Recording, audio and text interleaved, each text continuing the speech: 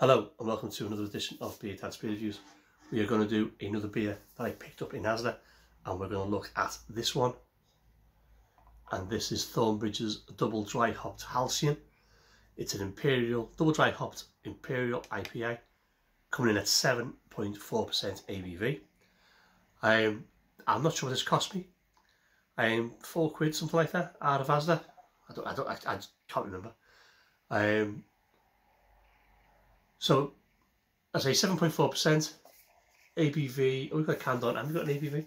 So it was canned on the 4th of March 24, just before the 1st of March 25. It says that on the bottom there.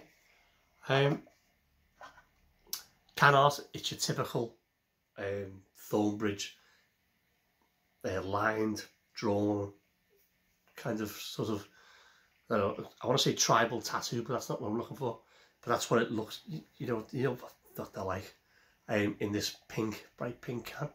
I have done Halcyon before um, and that was the Imperial IPA that was way back when um, it's in me um, if you stick in Beer Dad Halcyon it'll, it'll pop up.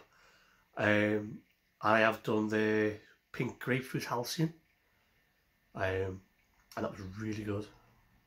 But anyway let's have a little look at this then. So let's pop it up let's see what we've got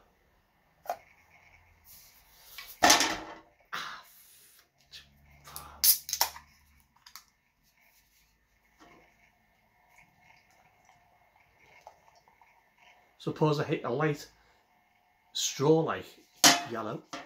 I'm all over the place today, yeah. Um, beer in a glass, what have we got? We've got ourselves a two-finger, densely compact white head. The beer itself is a lovely hazy yellow. Put a bit of light through, it might just illuminate a touch. Yeah, there's a, a sort of lemony feel to that. You put the torch to it.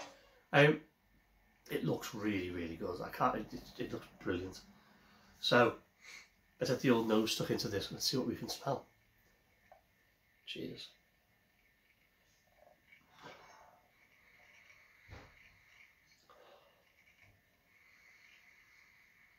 Grapefruit, citrus fruit, earthy note to it.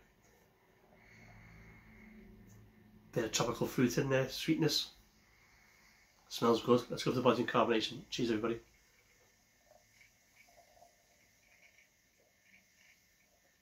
Oh, that's really tasty. Oh, that's really cool. Oh, move closer for this one. Um, body is light, bordering on medium, but more, more than the light side. Carbonation again, nice and soft. Oh, that's lovely. Right, let's go with a big taste. Cheers.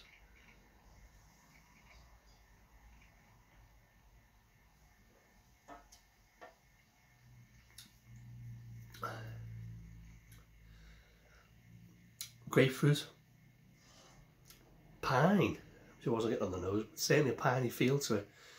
It's got a piney dryness to it, zest and pith, grapefruit peel, grapefruit zest, grapefruit pith, citrusy again, zesty and pithy and and and, uh, and rind.